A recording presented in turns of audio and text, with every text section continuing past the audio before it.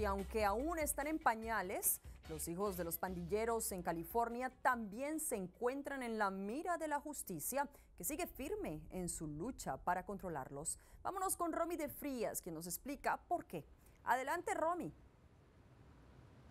Así es, Adriana, muy buenas tardes. Y es increíble que estos pequeños a su corta edad, aún utilizando pañales y tomando leche en biberón, ya pertenecen a una larga lista de pandilleros utilizada por las autoridades.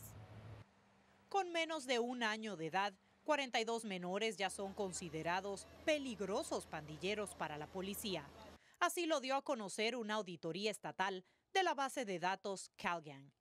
Las autoridades no se explican cómo llegaron estos 42 inocentes a la base de datos y aún menos cómo 28 de ellos fueron registrados tras supuestamente admitir que eran pandilleros.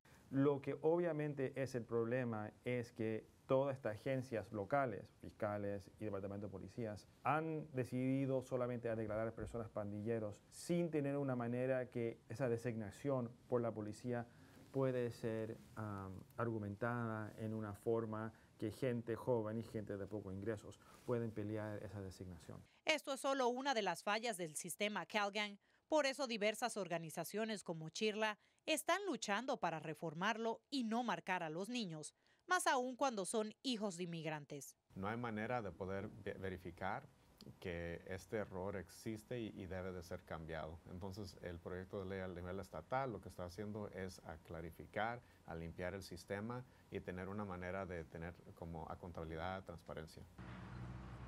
Y bueno, la auditoría le pide al Departamento de Justicia del Estado de California que se encargue de supervisar esta lista y lleve a cabo los cambios necesarios. Esa es toda la información que les tengo. Romy de Frías, regreso contigo al estudio.